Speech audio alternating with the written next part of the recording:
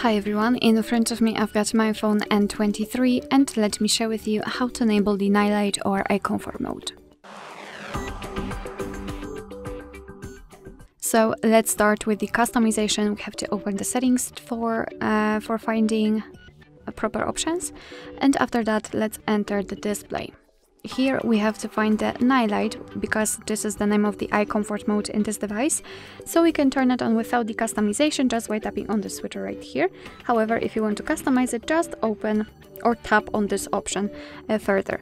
Um, as you can see, the screen turns a little bit yellowish or amber. It is in order to filter the blue light and you can change the intensity of that feature just by using the switcher. By, by going to the left, you can make it cooler and by going to the right, warmer. It's almost it's up to you which uh, intensity is the most comfortable for you.